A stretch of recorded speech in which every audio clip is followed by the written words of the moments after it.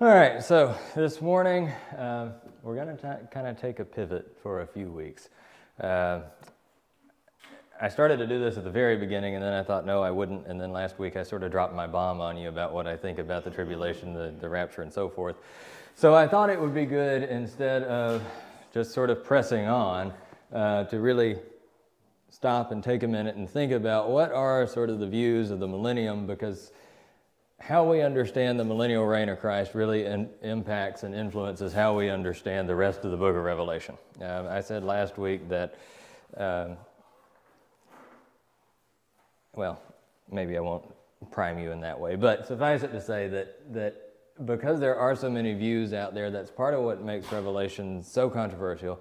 It's also part of what makes it so hard to understand because you pick up book A and then you pick up book C, B, and then you pick up book C, and all three authors have a slightly different view of the millennium, which means that they divide the book in different places based on what is to happen, what has already happened, what's currently happening, and so forth. Um, so, that said, um, you know, I, I did sort of drop the bomb and tell you that I do believe that the church will go through the tribulation. I believe there's one plan of God for salvation for the church and for Israel instead of two separate plans. And I don't believe in a secret rapture.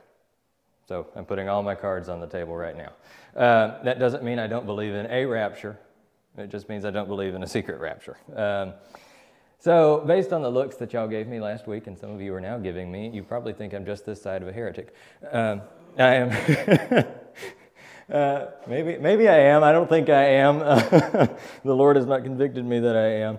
Um, but what I want to do as we're looking through this is not just to defend myself, although that is admittedly part of it, um, but we need to know that there are reasonable interpretations um, in a variety of ways about how the millennium functions and about how the book can be understood. Um, and then also to prove to you that I'm not a heretic. Uh, I think also, I mean, this is something that we don't tend to think a whole, whole lot about, but even conversations like this are a bit of a master class for us whenever Peter tells us we need to be able to make a ready defense for the hope that we have in Christ Jesus, right? Um, because Revelation is so controversial, Revelation is such a cultural moment, and I have met people who will use Revelation as their ammunition against a Christian to say, well, you don't know what you believe, right? Um, and it's because they're at least well versed enough in this stuff. Maybe they don't know all the ins and outs, but they're well versed enough in this stuff that they can catch you flat footed, right? Um, so that's sort of the reason that I want to do this, and not, you know, least of all because I love doctrinal things and I find it incredibly interesting. Um, so, the first thing um, I want to do is look at what I'm actually talking about when I say the millennium or the millennial reign. So this comes from Revelation chapter 20. Um, I'm really jumping ahead because we're like three years away from Revelation 20. um, and we'll come back to it, but I want to go ahead and look at it now. So we'll read verses 1 to 10. Then I saw an angel coming down from heaven, holding in his hand the key to the bottomless pit and a great chain. And he seized the dragon, that ancient serpent who is the devil and Satan, and bound him for a thousand years, and threw him into the pit, and shut it and sealed it over him, so that he might not deceive the nations any longer until the thousand years were ended. After that, he must be released for a little while. Then I saw thrones, and seated on them were those to whom the authority to judge was committed. And I also saw the souls of those who had been beheaded for the testimony of Jesus and for the word of God and those who had not worshipped the beast or its image and had not received its mark on their foreheads or their hands. They came to life and reigned with Christ for a thousand years. The rest of the dead did not come to life until the thousand years were ended. This is the first resurrection. Blessed and holy is the one who shares in the first resurrection. Over such, the second death has no power, but they will be priests of God and of Christ, and they will reign with him for a thousand years. And when the thousand years are ended, Satan will be released from his prison and will come out to deceive the nations that are at the four corners of the earth, Gog and Magog, to gather them for battle. Their number is like the sand of the sea. And they marched up over the broad plain of the earth and surrounded the camp of the saints and the beloved city. But fire came down from heaven and consumed them. And the devil who had deceived them was thrown into the lake of fire and sulfur, where the beast and the false prophet were, and they will be tormented day and night forever and ever. Probably a bit more entertaining than the letters to the seven churches, admittedly. Uh, but this is it. This is sort of the giant question mark on the Revelation timeline. Um, so it might help first to take all of that and condense it just a little bit. What is the millennium? The millennium is the thousand year reign of Christ prior to Jesus' final coming. Okay? Um, next week, I'll give you a handout with all of this stuff on it. It just it didn't happen this week. But um, there are four camps and three categories concerning this. You've got the premillennial uh, camp, which is divided among the dispensational premillennial folks and the historic premillennial folks. You've got the postmillennial camp, and then you've got the amillennial camp. So, premillennialism argues that Jesus' second coming will happen before the millennium. Okay? Um, there is some real differences between dispensational and historic premillennialism. Putting my own cards on the table, I'm historic premill. Okay? Um, this morning we're going to talk about dispensational premill uh, because I feel like that's probably the dominant idea, at least, that's in the room. Um, and I'm not up here doing this to tell you that you're wrong. My goal is to be as even handed as possible. Okay? Um, so you have dispensational you have historic premill. You have the post mill crowd. These are the people who believe that the second coming happens after the millennium.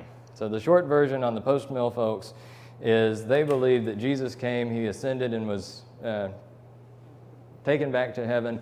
And that's when the kingdom of God was inaugurated, and that millennial reign, whatever it is, uh, happens as the gospel is spread across the world and the world gets better and better and there's more Christianization and so forth and so on until all have heard the gospel. Then Christ comes back for judgment in the new heaven and the new earth, not a physical political reign. Okay? And then amillennialism, which is the second coming with no literal millennium, actually, the now millennium. Basically, things don't necessarily get better and better like it does for the post mill crowd. Um, but it's not literal in any sense. It's all symbolic, just that Christ is reigning on the throne now, and at some point he will just decide that the curtain is up, and, and this is it. Um, all right, so talking about dispensationalism then, because that's where I think we need to go first. Um, the dispensational view of the Bible, let me back up before we, we do this so you can kind of get an idea of how I'm going to go through. Um, with each of these views, I want to give you an understanding of how each view looks at the Bible as a whole, um, a definition of the distinctives of each view, and then some exploration of specific distinctives, a timeline for how those views expect the end times will occur, and then a discussion of the rapture and the role of Israel. Those are basically the two things that separate these four groups from one another. Okay? Um, so, I have given us a small assignment in how we're going to do this. Uh, so, a dispensational view of the Bible, God reveals his plan of salvation through successive dispensations. Those dispensations are periods of time when man is tested in some respect of obedience, followed by disobedience and judgment, in order that the necessity of God's plan of salvation by grace would be cumulatively revealed. Um, so, this is, in fact, I'll just go ahead and pull it up and show you. This is sort of a tame chart. Depending on your dispensational theologian, you can have five dispensations, you can have seven dispensations, you can have as many as 29 dispensations, depending on who's there and who's making the argument. All right, so you have the age of innocence, or the dispensation of innocence, of conscience, of human government. No, human government overlaps everything until the thousand year kingdom. Um, inside that, you have the dispensation of promise, the dispensation of law, the dispensation of grace, and then you have the tribulation in which law comes back onto the scene.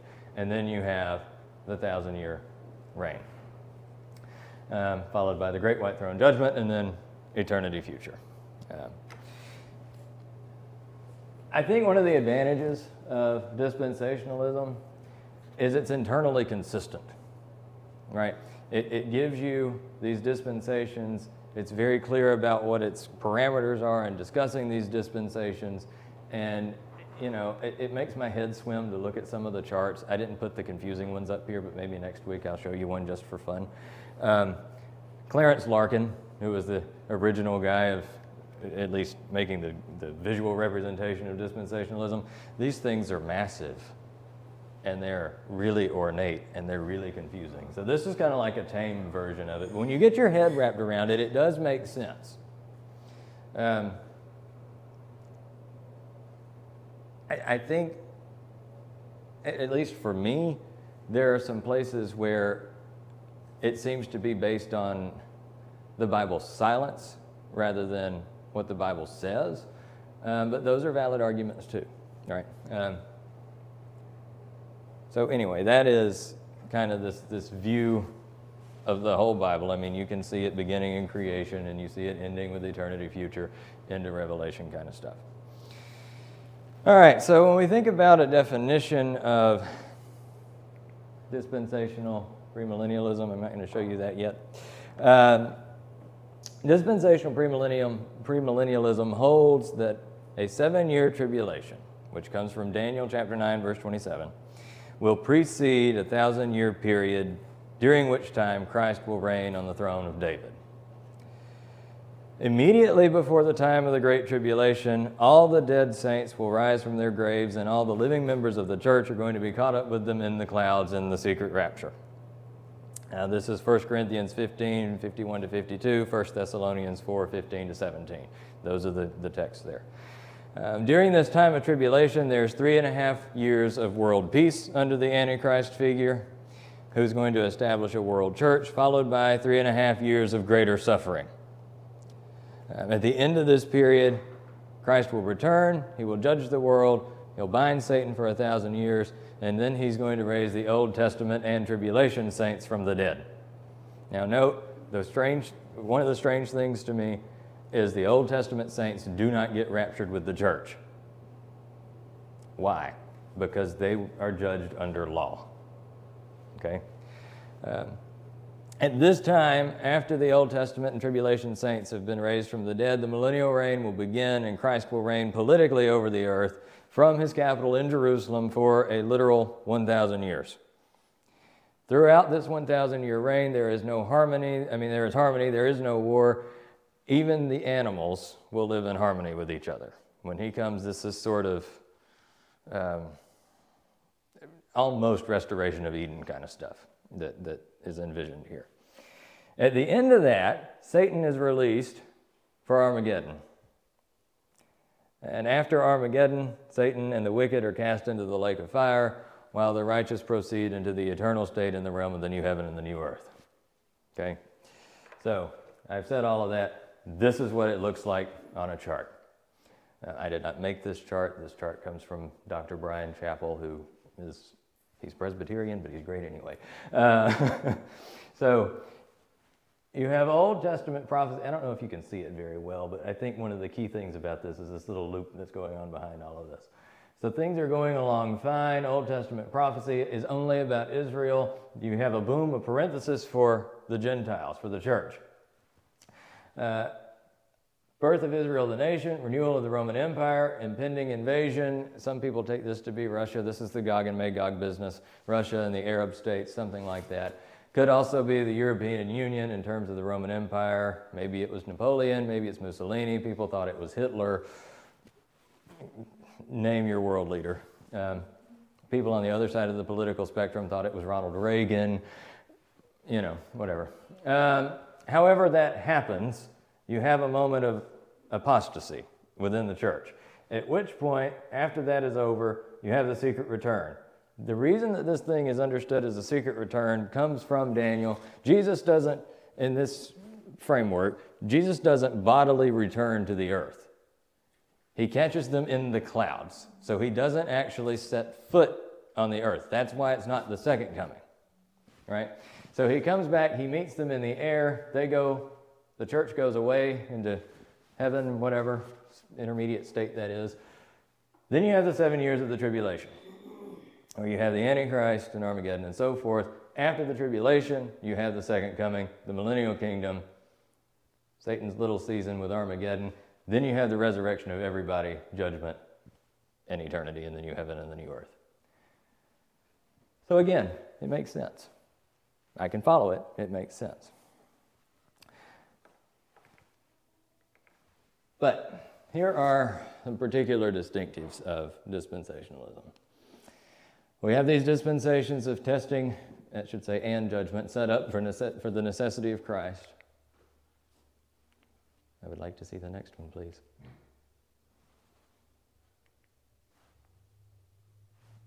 Okay, well, they're showing up down here, but not up there.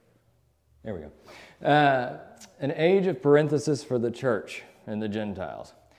Dispensationalists do not believe that the church is prophesied in the Old Testament. Uh, one thing about the way that dispensational understandings of the Bible unfold is it quite literally unfolds from the beginning to the end. You don't read the Old Testament in light of the New Testament. You read the Old Testament as the Old Testament. You read the New Testament as the New Testament. Where the things overlap, such as prophecies about Jesus, that's fine. You read those in that way. But otherwise, if it's something about Israel, it's about Israel. Okay? Um, wrong way again. Separate and unique plans for Israel and the church. Now, we've talked about this already. I don't know if any of you will remember it or not. Um, I did a really quick one week blitz through Romans 9 through 11 while we were doing Hebrews. Um, and we're going to talk more about that, so I won't say anything uh, yet. I need to get my buttons straight. And then the secret rapture. Okay? So, sorry, there's a fifth one. And then a literal millennium to convert the Jews and the world. So you can probably see where some of this thought process is going, where some of this stuff is, is leading to. Um, so we're going to think about the relationship between Israel and the church. Um, the reason why I want to spend time on this is because, in order to understand Revelation effectively, we have to understand and we have to come to our own decisions about who the book was written for and who the book is written about. Okay? Um, so, the unique contribution of dispensationalism is the idea that the bulk of the book, basically from chapter 4 to chapter 19, there are some variations in that. Um, I should pause here and note this is like a very general idea just like with anything else, there are some dispensationalists who disagree with parts, and there are some who have other things that they have factored in here. This is just kind of what is common. So, anyway, uh, basically from chapter 4 to chapter 19 is what Israel will experience during the Great Tribulation. It doesn't include the church, it has nothing to do with the church. Um, it begins with the rapture of the church, it ends with the second coming of Christ. The dispensationalist idea is that Revelation is written for all believers to tell us about the end time events and to reveal to us the character of God and Christ. But it's written about Israel. Now, the reason that they hold this really very strict separation between the church and Israel is, is for three primary reasons. One, the promises were originally given to Abraham's physical offspring, and they must be fulfilled by Abraham's physical offspring. Right? So it's none of this business about the spiritual offspring of Abraham. It is literally the people who are descended from Abraham who make up the nation of uh, Israel. Secondly, Israel always refers to ethnic Israel in the Bible. Any Old Testament titles given to the church are simply applications. They're simply metaphorical, where the church is like Israel, but it is never that Israel is imported into the church, and it's never that the church replaces Israel, right? And then, thirdly, and this is, I think, maybe the defining feature when we're thinking about the relationship between Israel and the church and the dispensational mindset the land promise made to Abraham has not yet been fulfilled and it requires a future fulfillment by the nation in the millennial kingdom of Revelation 20. All right, so how does all this work? Um, if you're writing things down, you're just going to have to write things down kind of quickly because I didn't put a slide for all of this stuff up here. Um, so we're starting at the first. When the promises were originally given to Abraham's physical offspring, and must be fulfilled by Abraham's physical offspring. This comes from Genesis chapter 17, verse 8. This is the promise God's making to Abraham. He says, And I will give to you and to your offspring after you the land of your sojournings, all the land of Canaan for an everlasting possession, and I will be their God. Okay? Abraham certainly would have gathered that the covenant and the promises were for all of his offspring. Thus, the promises were given to all of the physical descendants of Abraham through Isaac. There is no distinction between the physical offspring who believed and the physical offspring who do not believe in the God of Abraham. This is just what bloodline do you fit into? Okay? So all Israelites possessed the land, all experienced the blessings of the Davidic kingdom, and all had the promise of the Messiah, whether they believed in it or not. It's also, I think, helpful to realize that one of the main themes here is that the Old Testament does not make much of a distinction between believing Israel and non believing Israel. So it's not just that this is a very general statement in Genesis 17 to you and your offspring, but it is very true that in the Old Testament, Israel is the chosen nation. Israel is his people, right? Those are the phrases that are used there. It doesn't say those who believe or those who are good or faithful or whatever. Now, kind of one of my hiccups on this, but also, you know, one of the things that deserves to be pointed out Galatians chapter 3, which we just finished, uh, the New Testament does tell us that Abraham has spiritual offspring. The dispensationalist argument against that, though, is the New Testament, even where it says that Abraham has spiritual offspring, nothing is ever said that those spiritual offspring are given that same inheritance that the physical offspring are given. Uh, it's always this physical versus spiritual kind of Israel is not the church, the church is not Israel. Let's keep these groups separated. All right? Secondly, Israel always refers to ethnic Israel in the Bible. Any Old Testament titles given to the church are simply applications.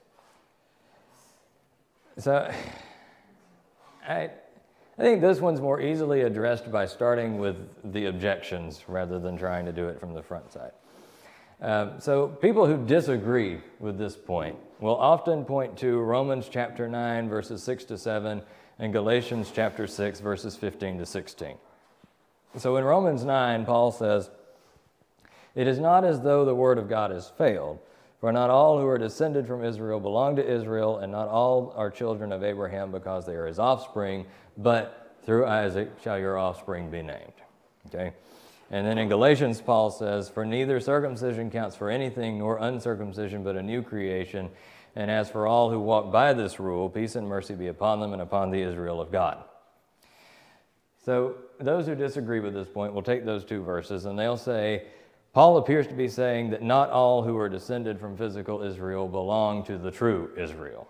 So now we've got a third category in here. We've got the physical offspring, we've got the spiritual offspring, and we've got this thing that's true Israel up here. Um, for Paul, those who believe are a part of true Israel in one interpretation of that verse. Um, in Galatians, it appears that he's saying that those who walk by the rule of the new creation both Jews and Gentiles are the Israel of God. So people who disagree will say it appears that the name Israel is applied to New Covenant believers. Where a traditional dispensationalist would respond to that is by saying that Paul is referring to believing Israelites within the church who retain their ethnic identity. So in 1 Corinthians chapter uh, 10 verse 32, Paul says, give no offense to Jews or to Greeks or to the church of God. And by saying that, the dispensationalist thought process is Paul maintains three categories even in the gospel age. There is still a Jewish category, there is still a Greek or a Gentile category, there is still a church category. Okay? Uh, some will also suggest to the dispensationalists that titles regularly used of Israel in the Old Testament are made new by their application to the church in the New Testament. Um, the dispensationalist response to that is the church is the people of God at that time. Right? So now we're in this parenthesis business. Israel was set aside. We are the people. We are the nation. We're the chosen nation. We're the chosen people. Ah, but let's have a parenthesis in this for the church because you rejected the Messiah. So now we're going to open this thing up to the Gentiles. Here's the church. Now we're going to close that off, rapture the church. We're back to Israel. So there's a moment where the church is the people of God, but Israel is sort of the eternal chosen group of God. So they say, because they are the people of God at the present time, the church is like Israel. Metaphorically speaking, these titles have been applied to the church, but they're not actually fulfillment of those titles. They're just application. So there's a distinction between fulfillment and application as well. Using those titles that are used of Israel in the Old Testament to describe the church in the New Testament does not mean that the church in any way fulfills, completes, or replaces Israel. I think that's the short version of it. And then we go back to the land bit. Israel still possesses their nation, national promises. That is, that is still Israel's at the end of the day. All right, so we go to the third one. The promises, particularly the land promise, has not yet been fulfilled and requires a future fulfillment by the nation in the millennial kingdom of Revelation 20. So the promise to Abraham in Genesis 15, 18 was, To your offspring I give this land, and from the river of Egypt to the, to the great river, the river Euphrates. And then later in Genesis 17, verse 8, God says, And I will give to you and to your offspring after you the land of your sojournings, all the land of Canaan for an everlasting possession, and I will be their God. So you've got two things in play here. One, you have a physical description, a very precise geographic description of what will be Israel's land. Um, and then you also have that word everlasting. Right. The dispensationalists make two points related to this. One, that the exact uh, dimensions of the land were never possessed by Israel in the Old Testament. And two, those who say, well, okay, maybe they were. Um, it seems like in Joshua, at least, um, that area is possessed. That area and then some, but that area is possessed. Um, so even if they were possessed by Israel, they didn't get to keep them. It wasn't everlasting. Um, now, the, the lovely thing is that we all agree on something at this point. Um, we all agree that God is not making that promise and He's not enforcing that promise in the new heaven and the new earth, because the new heaven and the new earth is going to be its own deal. But the dispensationalists argue that the land promises must be fulfilled in the present age. Since they've not been fulfilled in the present age, then the millennial kingdom is the completion of the land promises made to Israel. Hence, why the church has to be out of the way. This is why the church gets raptured, one, one part. It's why the church gets raptured. Okay? So that moves us. I know this is drinking like drinking out of a fire hydrant. Uh, now we're going to go to the rapture. um, so there are four reasons why the dispensationalist view believes the church will be removed from the earth in the rapture before the beginning of the tribulation. The distinction between Israel and the church requires the removal, removal of the church before God can again deal with Israel. This is an argument from logic, it's a sound argument. Secondly, 1 Thessalonians chapter 4 verses 13 to 18 pictures a secret removal of the Christians to be with Christ in heaven. Thirdly, the church is not referred to in any of the tribulation passages in the Old or New Testament. And fourthly, the pre-tribulation rapture allows for an any moment return of Christ. Okay? I think this is where probably, well, we'll see next week because we'll look at historical premillennialism next week, which is where I fall. Um, let me let me stop right for a moment and say something about the rapture. I think this is in some ways an argument that has been pushed beyond its usefulness. When he comes, he comes. It doesn't matter whether we think it's time or not, right? Uh, but it does influence how we read Revelation, how we read Daniel, how we understand our role as the church and as Christians in that sequence of events. And so I think that's why it's useful to talk about. But it should not be something that divides the church. And it has become something that divides the church. Um, Kevin can probably give me an amen. Uh, Carrie, you got all four of those views represented, and they don't often mingle. I mean, it's very weird. Even in the BSU, where you think everybody would be happy go lucky, they don't mingle. Uh, and, but, you know, some of it is stupid. Some of it is intellectual superiority. People think because they hold this view or that view or the other view that they're smarter than everybody else. No, you're not.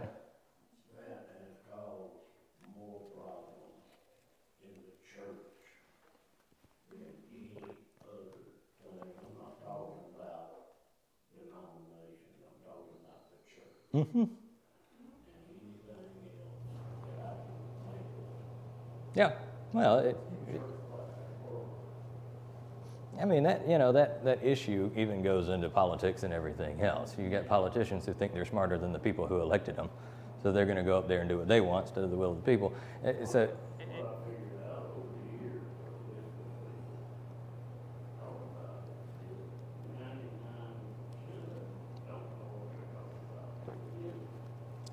Nope.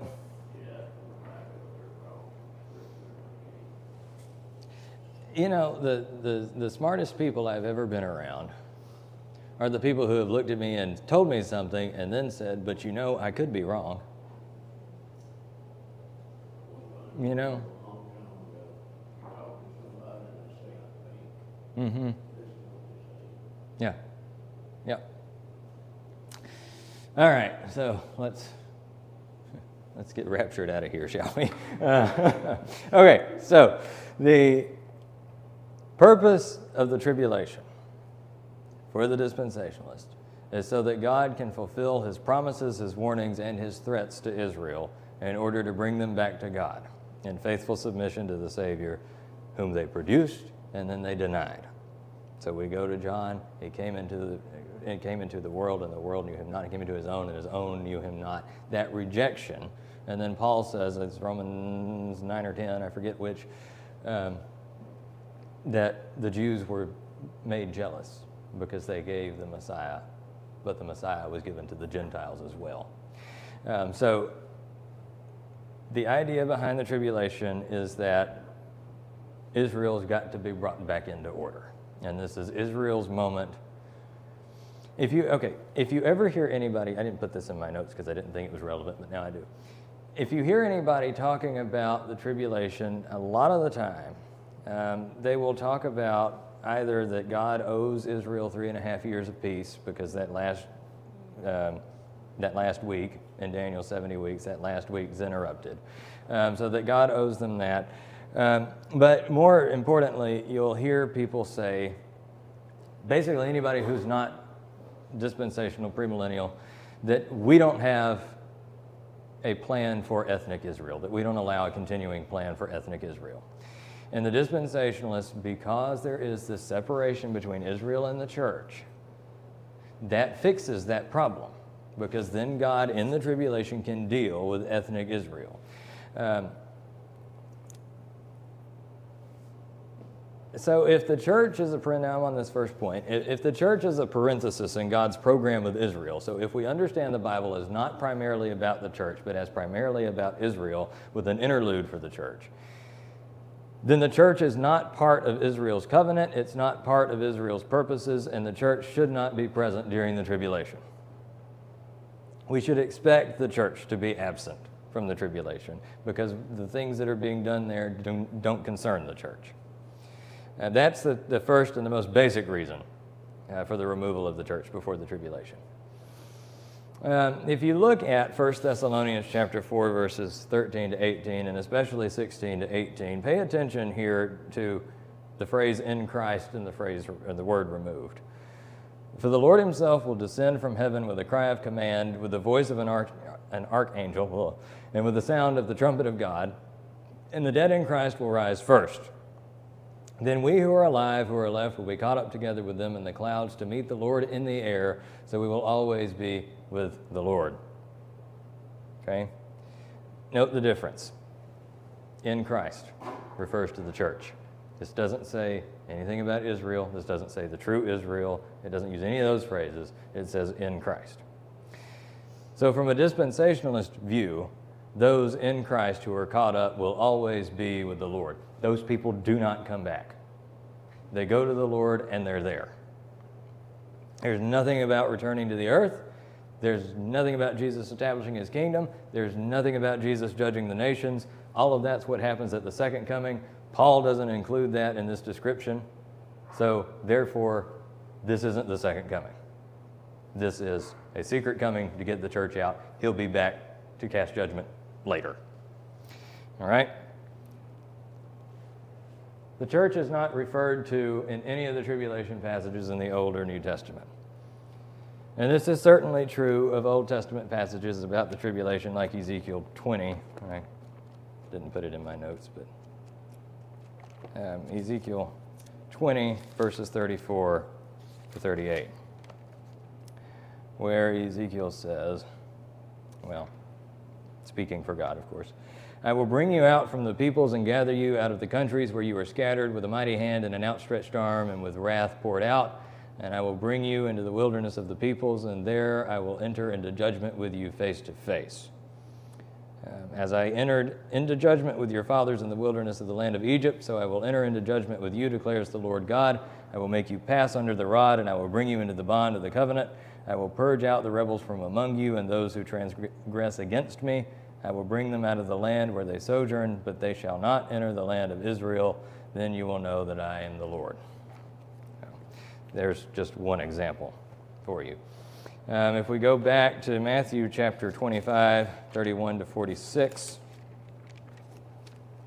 the final judgment. This is Jesus talking about the final judgment. I'm not going to read all of it, but I'll read bits and pieces. When the Son of Man comes in his glory and all the angels with him, then he will sit on his glorious throne. Before him will be gathered all the nations, and he will separate people from one another as a shepherd separates the sheep from the goats. And he will place the sheep on his right and the goats on the left. Then the king will say to those on his right, Come, you who are blessed by my Father, inherit the kingdom prepared for you from the foundation of the world. This is the uh, what you did to this. I was this, and you did this for me, and I was that, and you did that for me, and so forth. Then he will say to those on his left, Depart from me, you cursed, into the eternal fire prepared for the devil and his angels. Again, I was hungry and you didn't do. I was this and you didn't do. Then he will answer them, saying, Truly I say to you, as you did not do it to one of the least of these, you did not do it to me, and these will go away into eternal punishment, but the righteous into eternal life. There is no mention of the church there. There is only a mention of the judgment of the nations there. Okay? So these tribulation passages, these judgment passages, don't actually refer to the church, literally. Um, they also say that though the church is referred to several times in Revelation 1 to 3, it isn't mentioned at all from Revelation 4 to 21. This is another sign, and a very, I think, logical, literal sign, that the tribulation doesn't deal with the church, but only with Israel. Because if it dealt with the church, why would the church not be mentioned there? This is one of those arguments from silence. Uh, I don't discount it because it's not there. Uh, at the same time, I think it's maybe not paying attention to the broader scope of the book of Revelation. That's where I take issue with that particular point. Uh, but we'll, we'll talk about that next week. And then finally, the pre tribulation rapture allows for an any moment return of Christ. We get this from Luke chapter 12, verse 40, and 1 Thessalonians chapter 5, verse 2. So in Luke 12, verse 40, you must also be you also must be ready, for the Son of Man is coming at an hour you do not expect. And then in 1 Thessalonians, Paul says, But you yourselves are fully aware that the day of the Lord will come like a thief in the night.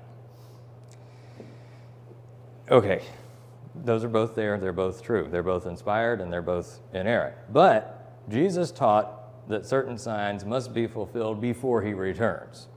The preaching of the gospel to all nations in Mark chapter 13, verse 10, false prophets working signs and wonders in Matthew chapter 24, verses 23 to 24, and the rise of the Antichrist in 2 Thessalonians chapter 2, verses 1 to 10.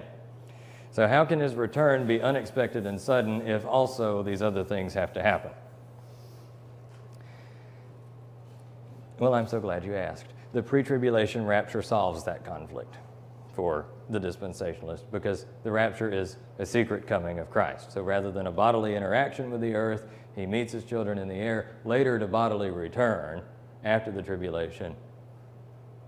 And during the tribulation, those things that he predicted will happen. So he can come for the church whenever. Then you have the tribulation, and you have that whole project, which ends with the second coming.